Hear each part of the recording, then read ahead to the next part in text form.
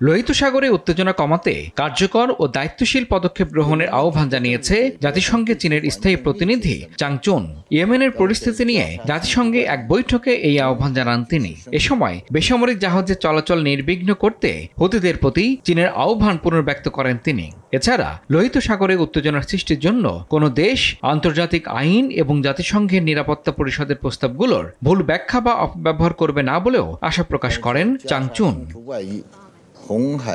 সম্প্রতি লোহিত সাগরে উত্তেজনা বৃদ্ধি বিশেষ করে ইয়েমেনের বিরুদ্ধে সংশ্লিষ্ট দেশগুলোর সামরিক পদক্ষেপ লোহিত সাগরের জলসীমায় নিরাপত্তা ঝুঁকিকে তীব্র করেছে এবং ইয়েমেনের রাজনৈতিক প্রক্রিয়াকে মারাত্মকভাবে প্রভাবিত করেছে বলেও মন্তব্য করেন তিনি। ইয়েমেন, বিশ্বের সবচেয়ে খারাপ মানবিক সংকটের দেশগুলোর একটি বলে মত দেন চাংচুন।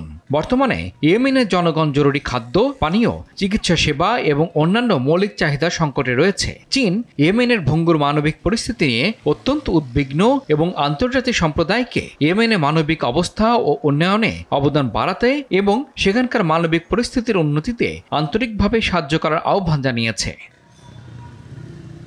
ইমরুল হাসান আর টিপে